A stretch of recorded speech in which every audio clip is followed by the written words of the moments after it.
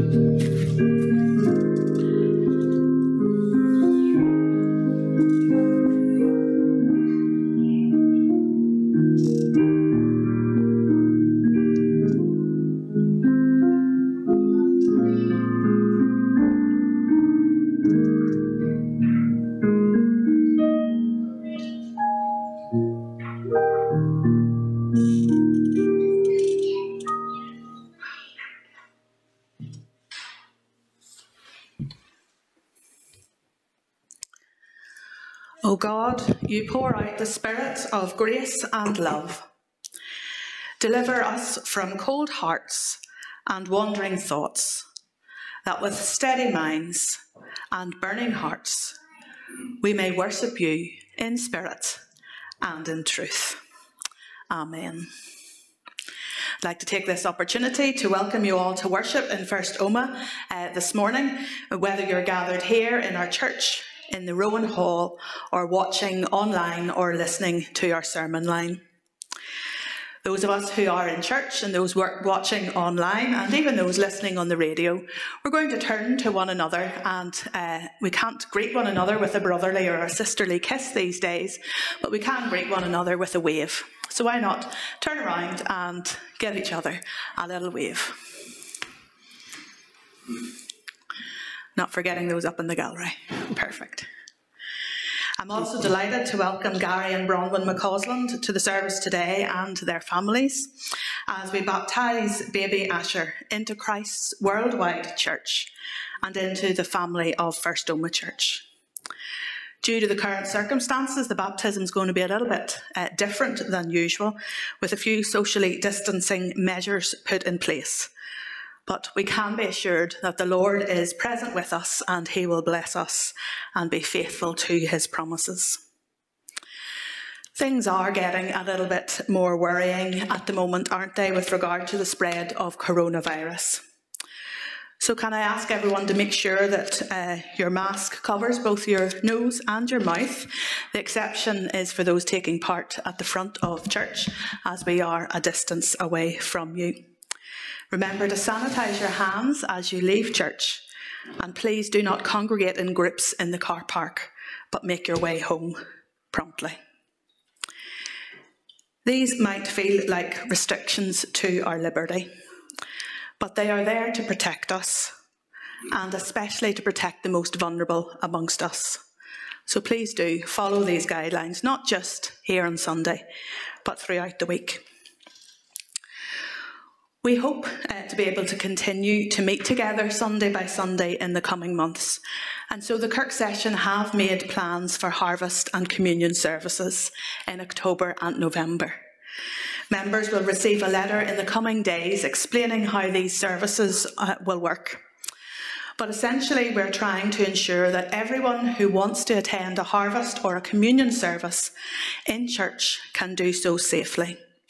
So we're going to have two harvest morning uh, services, one on the 11th of October, which would be our traditional harvest Sunday, and the other on the 18th of October. And we're going to split uh, the congregation um, in two, depending on your surname. So if your surname begins with A to H, then please uh, make uh, 11th of October the Sunday that you come to celebrate and to give thanks for harvest. If your surname is I to Z, then come on the 18th of October to celebrate harvest and to give thanks to God for his goodness to us. Both services will be live streamed, so if it's not your turn to come out that Sunday, then you can watch online. There might be limited space available for those who are unable to watch the live stream and would prefer to come to church, but you may be seated in the Rowan Hall rather than here in church so that everyone gets the opportunity uh, to be in church for the harvest service. And the same arrangements will apply for communion. We will have our first communion service on the 25th of October and the second one on the 1st of November, again split alphabetically in that same way. Don't worry, you don't have to remember all of that because you are going to get a letter in the coming weeks from uh, your elder that will explain it um, to you. Along with that letter, you're going to get a little booklet on hope. Hope in Uncertain Times. And this has been published uh, because of the coronavirus, uh, seeking to give people um, hope in the midst of this uncertainty. And it's particularly for those who don't have a Christian faith or who are wondering about their Christian faith. But we're going to give a booklet to every member of, uh, or every household in the congregation. And in that book, there are some contributions from Mary Berry, uh, the great baker, and Bear Grylls, the great adventurer, on their Christian faith and how it has helped them in uncertain times. Read the booklet for yourselves and then maybe think um, about passing it on to others. Um, obviously, if you do so, make sure that it's sanitised, or you can always order more booklets uh, yourself. So it is uh, an uncertain time for us, but the one thing that we can be certain of is that we can come before our great God in prayer and He will hear our prayers. So let us join together in prayer. All glorious God, we give you thanks in your Son Jesus Christ. You have given us every spiritual blessing in the heavenly realms. You chose us before the world was made to be your holy people without fault in your sight. You adopted us as your children in Christ. You have set us free by his blood. You have forgiven our sins. You have made known to us your secret purpose to bring heaven and earth into unity in Christ. You have given us your Holy Spirit, the seal and pledge of our inheritance. You have loved us with unfailing, self giving mercy but we have not loved you. You constantly call us, but we do not listen. You ask us to love, but we walk away from neighbours in need, wrapped in our own concerns. We condone evil, prejudice, warfare, and greed. God of grace, as you come to us in mercy, we repent in spirit and in truth, admit our sin, and gratefully receive your forgiveness through Jesus Christ, our Redeemer, who taught us when we pray to say, Our Father, who art in heaven, hallowed be your name. Your kingdom come, your will be done on earth as it is in heaven.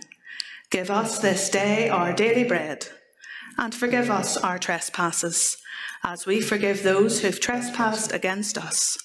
And lead us not into temptation but deliver us from evil. For yours is the kingdom, the power, and the glory, forever and ever. Amen. Our opening item of praise is a new hymn that's in our hymn books, hymn number 500. Uh, but the words, uh, uh, the words won't appear on the screen because we're actually going to listen to Calvin and Kane as they sing for us God of Grace, Amazing Wonder.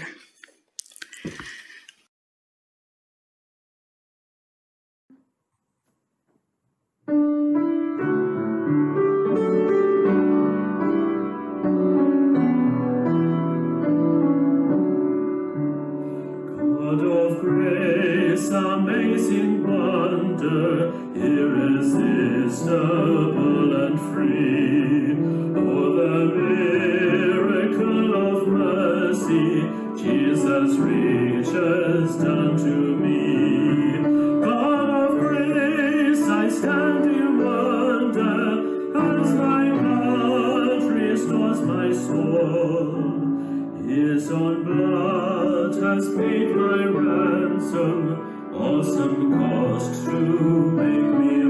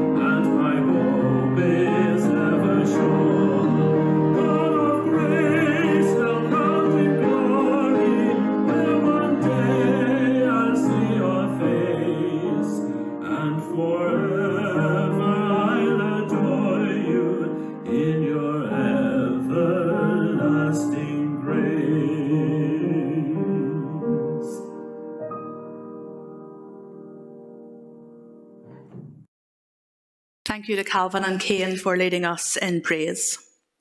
We're now coming to the section on baptism, uh, and in a moment we're going to baptise Asher McCausland. But before I ask his parents to step forward, I want to speak a little bit about what baptism is all about. Baptism is a celebration of God's grace, not of human achievement. It is a means of grace through which God acts to seal his promises in the gospel. Baptism isn't an end on itself, it points forward beyond itself to celebrate God's grace and his covenant faithfulness.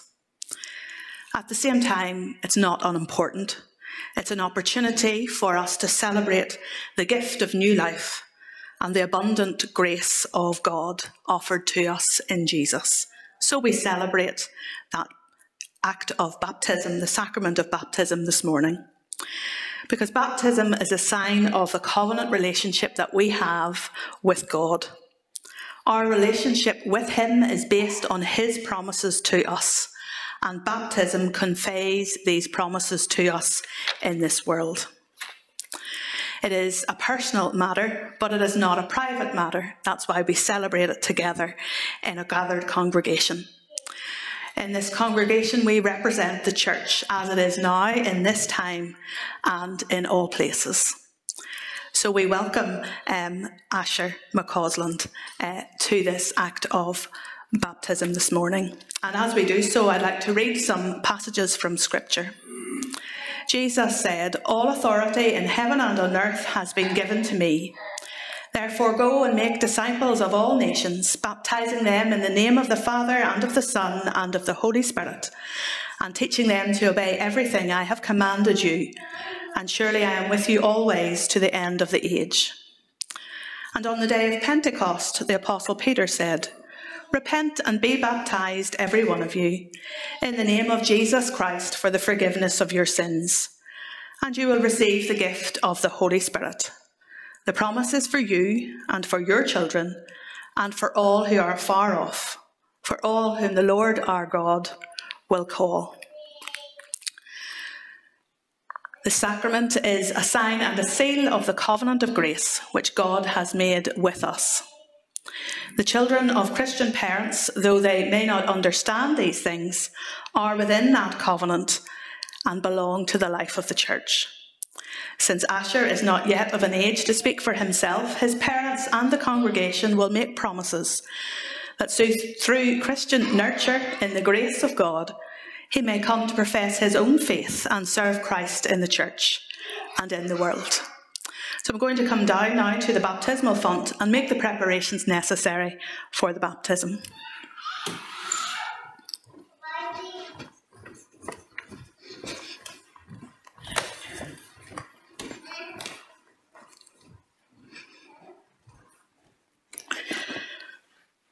In these days of coronavirus, we need to sanitize our hands at all times.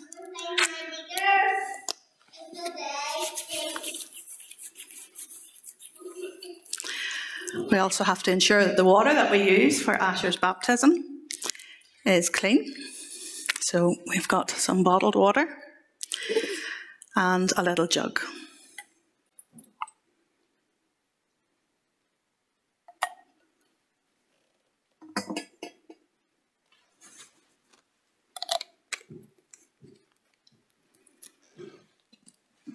So we're all ready for the baptism. Could I invite the congregation to stand and Gary and Bronwyn and Asher to come forward?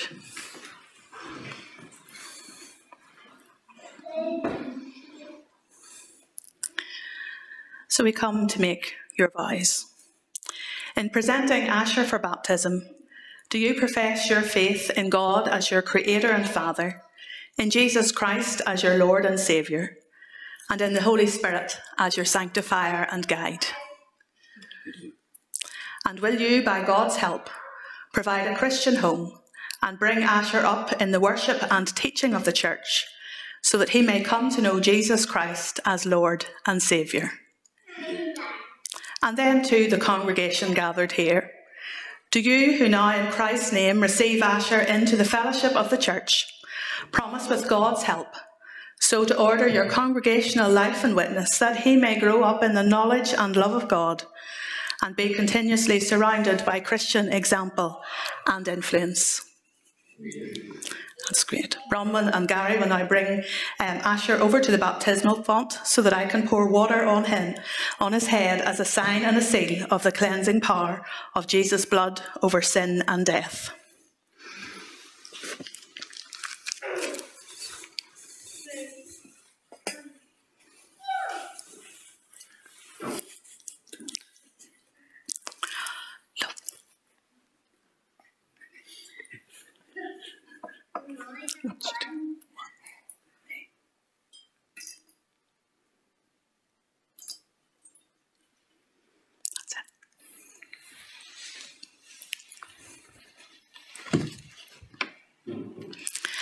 Asher John McCausland, I baptize you in the name of the Father, and of the Son, and of the Holy Spirit. May the blessing of God Almighty, Father, Son, and Holy Spirit be upon you and abide with you forever. Amen. Asher is now received, according to Christ's command, into the membership of the Holy, Universal, and Apostolic Church, and he is engaged to be the Lord's. Um, we're now going to listen to the words of the Aaronic blessing um, as a sign of God's blessing towards Asher. The congregation may be seated, and so may Bronwyn and Gary.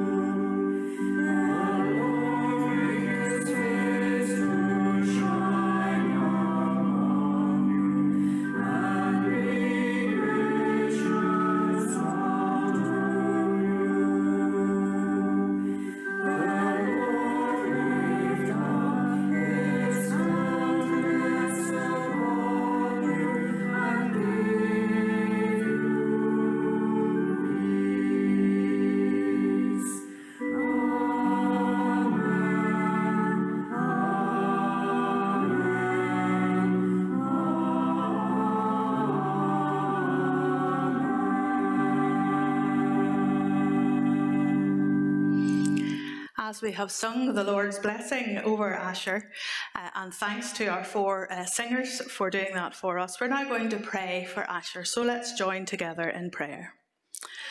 Almighty and eternal God, we thank you that in your infinite mercy and goodness you have promised to be not only our God, but also the God and Father of our children. And you have received Asher by baptism into the life of your church. Guard and keep him all his days May your love hold him, your truth guide him, your joy delight him. May he grow strong in body and mind and come to faith in Jesus as Lord and Saviour. Make his home a place of safety and security and help his parents to teach him your truth and lead him in your ways. And we pray for all families in this congregation. May you be cherished in all our homes. May your presence in our midst transform our lives. And may all our children grow in grace and the knowledge of our Lord and Saviour, Jesus Christ, in whose name we pray. Amen. Amen. And we thank God for his blessings to us and for the blessing that Asher has brought uh, to the McCausland and Clements families. We turn now to the scriptures to read of more blessings that we have received from God in Ephesians chapter 2, verses 1 to 10. Ephesians chapter 2, verses 1 to 10. As for you, you were dead in your transgressions and sins, in which you used to live when you followed the ways of this world and of the ruler of the kingdom of the air, the Spirit who is now at work in those who are disobedient. All of us also lived among them at one time gratifying the cravings of our flesh and following its desires and thoughts. Like the rest, we were by nature deserving of wrath. But because of his great love for us, God, who is rich in mercy, made us alive with Christ, even when we were dead in transgressions. It is by grace you have been saved. And God raised us up with Christ and seated us with him in the heavenly realms in Christ Jesus, in order that in coming days we might show the incomparable riches of his grace expressed in his kindness to us in Christ Jesus.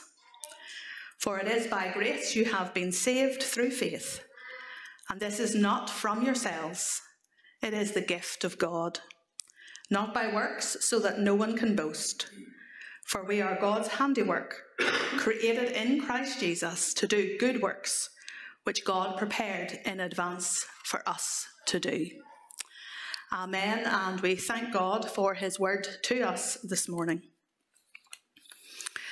So, over the last number of weeks, we have been focusing on things that we can give thanks for, and we've been putting things into our little thank you jar. And there are some people in the congregation I know who have started their own thank you jar, um, as I was encouraging people to um, think about all the things that we can give thanks for in this season, to pop them into the jar, and to remember to say a prayer as we do so for that. And so this week, our focus is on giving thanks for God's grace to us. Giving thanks for God's grace to us. So that goes into the jar. Grace is a character of God. God is known as gracious. We can think of the Psalms, which tell us that He's abounding in love and graciousness. But what exactly does grace mean? Grace is a girl's name. Um, grace might be something that we would say before meals. But what exactly does it mean? It's like an old fashioned type of word. It's not a word that we would use very often today. But grace means favour, showing favour towards another person. And in showing that favour to the other person, it's favour that hasn't been earned, called unmerited favour. It's not because the person who receives the favour or the grace has done anything to deserve it. It's that the person wishes to show them favour and grace. So if you take a person who works eight hours a day and gets paid for the eight hours that they've worked, that's called a wage because they've worked for the, the money and they've received the wage. You can take a person who competes in a competition they win the competition and they receive a prize. They get prize because they've competed in the competition. They get the wage because they've done the work to deserve the wage. Or a person after 40 years service in their job receives a gold watch as an achievement of long service. The award is given to them because of their long service. The prize is given because you've competed in the competition. The wage is given because you've worked eight hours a day. But grace is receiving the wage when you haven't worked for it. Grace is receiving the prize when you haven't run for it. Grace is receiving the award when you haven't served for it.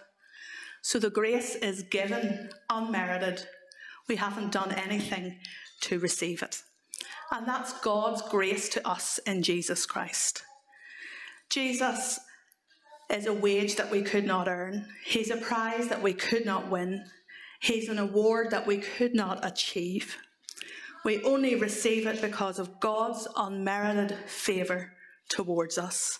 That's grace something that we receive that we have not earned. It is a gift of God, a gift of generosity. It's not if you do this, then you will get this, as most parents will do for their children. If you behave yourself, you'll get some sweeties. I'm sure Asher will probably have a few of those um, instructions in his day, but it's more like on his birthday. He's going to get presents on his birthday because his parents love him. And whether he's been good or bad throughout the year, he's going to be lavished with love on his birthday. Because it's given from the generosity of his parents and from their good heart. And in the scriptures, there are many uh, examples of when we get unmerited grace. And it's easy to understand why we give Asher presents on his birthday. But what about giving someone grace when they don't deserve it? You know the story of Jacob and Esau? Jacob stole Esau's birthright and ran away. The story is told of when Jacob returns to Esau and he asks for Esau's favour. He said, I have done wrong in your sight. I've stolen your birthright. Will you show me favour? And it was in Esau's hands. He could have sought retribution, he could have sought justice. What he gave was grace. He welcomed his brother back into the family home. Jacob didn't deserve it, but Esau, in grace, received his brother back. I think of that uh, wonderful uh, musical as I know it. Obviously, it was a book before it became a musical, like most things, Les Mis. Jean Valjean stole a loaf of bread in a time of extreme poverty, not for himself, but to feed his starving niece. He was sentenced to life imprisonment, and after 19 years, he was put on parole with strict instructions. Valjean was travelling and he came upon the bishop um, who offered him a place to stay. So Jean Valjean stayed with the bishop, but when he was in the house, he noticed all this silver that was around, and he thought to himself, if I had all of that silver, I could make a new life for himself. So he stole away in the hours of the morning with the bishop's silver in his sack. But he was caught by the police, and he was brought back to the bishop. What was the bishop to do? Jean Valjean had stolen the silver, a worse crime than stealing the loaf of bread. The bishop looked at the policeman and said, But I gave Jean Valjean that silver. It's his gift to use it as he wishes. So the police had no nothing to do. They had to leave Jean Valjean and the bishop together. And Jean Valjean stood before the bishop, and the bishop said to him that he was to use this gift of silver to become an honest man. The bishop didn't keep the silver. The bishop gave the silver to Jean Valjean and told him to use it to become an honest man. It was a gift of grace on behalf of the bishop. Jean Valjean wasn't sentenced or judged because of his crime of theft. More than that, he was let free, and more than that, he was given the silver to start a new life, all on the gift of grace of the bishop. That bishop's act of grace transformed a man's life. He received the gift and his life was transformed. If you haven't seen the musical, if you haven't watched the movie, if you haven't read the book, maybe that's something you could do in the week ahead and see how his life was transformed by this act of grace. But it was a gift from the bishop to Jean Valjean, just as the gift of grace that we receive from God is God's gift to us. We haven't earned it, we haven't warranted it. It comes to us from God's generous heart. What is this perfection in this gift of grace? It is the gift in Jesus Christ. Jesus is the greatest gift of God's grace that He has ever given to us. Yes, He's given us life. Yes, He's given us family. Yes, He's given us many, many blessings. But in Christ, He extends to us the greatest gift of all. Without the grace of God in Jesus Christ, we have no hope. It is at the cross of Christ that grace and mercy meet. Grace is getting what we don't deserve. We haven't earned it. God gives it to us. Mercy is not getting what we do deserve. Being let off the hook, not paying the price, receiving forgiveness. So grace is getting what we don't deserve, and mercy is not getting what we do deserve. But that mercy comes at a price the price of grace. We all know that if someone does something wrong, if they commit a sin, if they do something wrong, then they deserve a punishment. Just as when Asher grows up and he does something wrong, he might get punished by being put on the step or whatever the current parental practice is for uh, punishing children or letting the children understand why they've done wrong. If people aren't punished for their wrongdoing, then what type of a world would we live in? Everybody would do what they liked. We need punishment, don't we? But in the cross of Christ, in God's grace, the punishment for our sin is paid by Jesus. God's graciousness to us is that He doesn't inflict the punishment on us, but Christ takes it upon Himself on the cross at Calvary. He pays the price for our sinfulness. In grace, He offers to us forgiveness. He does all the work. We don't do anything.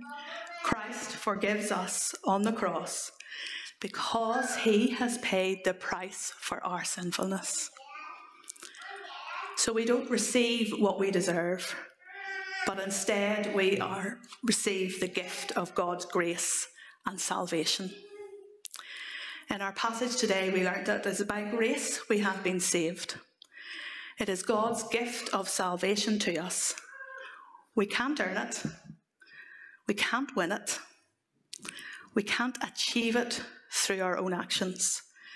It is His gift of unmerited favour towards us, earned on the cross at Calvary, paid for by the blood of Jesus, and we get to receive His reward because He offers it to us free of charge. We receive it by faith and allow it to transform our lives, to live for God in the future. But salvation itself is not because we decide to do something. Salvation for Asher is not because Bronwyn and Gary have made promises.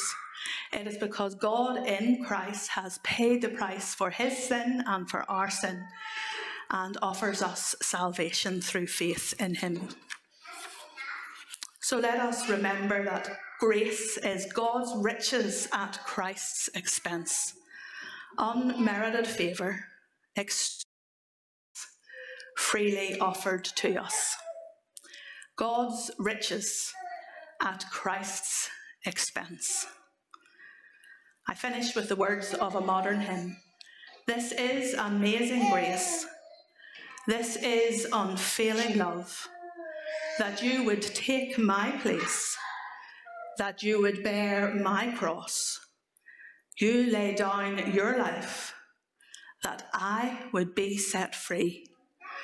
O Jesus, I sing for all that you have done for me.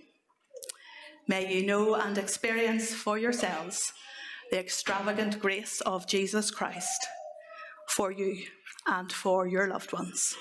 Amen. We come now to our prayers for others, and we're going to use PCI's weekly Let's Pray material. And as we approach God in prayer, we listen to Hebrews chapter 4, verse 16. Let us approach the throne of grace with confidence, so that we may receive mercy and find grace to help us in our time of need. So let us pray. Almighty God, a God of grace, we thank you for the gift of your church and we pray your blessing upon our moderator, Dr. David Bruce, as he continues to lead the church uh, through interaction with the wider community, through podcasts and sermons. And we give thanks that he is in the pulpit this morning of Ballyhenry Church and will, God willing, uh, be in the church of Bannockbone as they open next Sunday morning. We give thanks, O Lord, for his leadership, for his wisdom, and for his grace. And we pray that you would encourage and enrich him on this journey in these uncertain times. We pray too for those who serve you in other parts of this world, particularly in southern Sudan, in Myanmar, and Indonesia. We ask, O Lord, that you would help our global mission partners to help those who are dealing with food insecurity, with health problems, and with poor infrastructures. We thank you, Lord, for our universities and our chaplains, and we pray for chaplains as they seek to pastor and support our young people as they step out in the beginnings of their adult life. We pray that they would be able to speak into their situations and to encourage them to work and to walk in the ways of your love. And we pray, O Lord, for all who need an act of your grace this morning. people who are worried or anxious about employment, about health or family, people who are battling sickness of body and mind, people who feel lost, lonely, or rejected. May each one experience your healing power, your abundant grace, your deep peace, and your sustaining power. These prayers we offer in the name of Jesus Christ, our Saviour and Lord. Amen.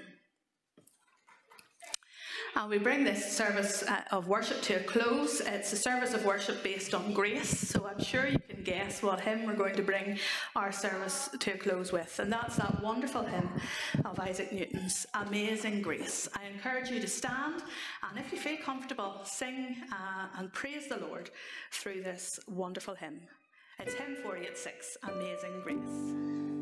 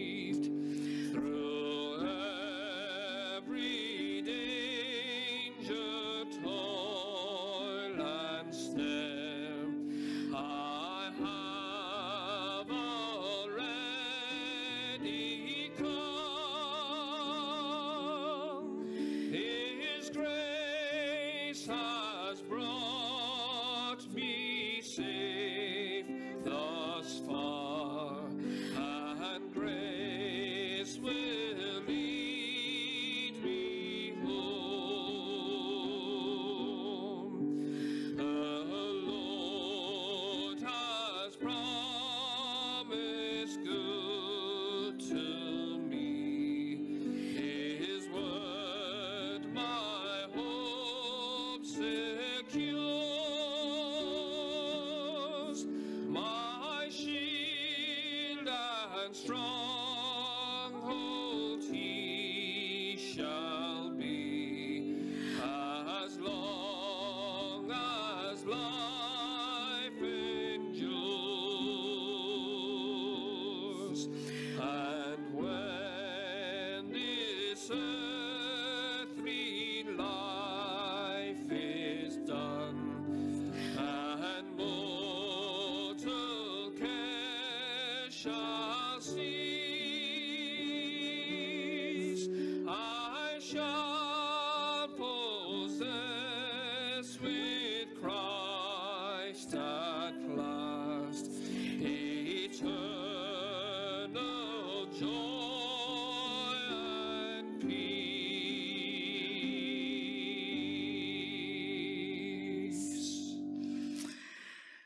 To those who, through the righteousness of our God and Saviour Jesus Christ, have received a faith as precious as ours, may grace and peace be yours in abundance in the knowledge of God and his Saviour Jesus Christ our Lord. Amen. Could I ask the congregation to please be seated? Just a few instructions, sorry, on how we are to leave church Um, I don't know if Bronwyn and Gary want to have a few photographs um, in church, in which case, if you're part of the baptismal party, can you just stay in your seats? Um, and then can the rest uh, of the congregation leave? People on the left hand side and on the right hand side by the windows, if you would stand and come forward and leave via the two doors. Uh, and then people in the middle, please remain seated until I ask you to stand, and then you also can leave. Thank you.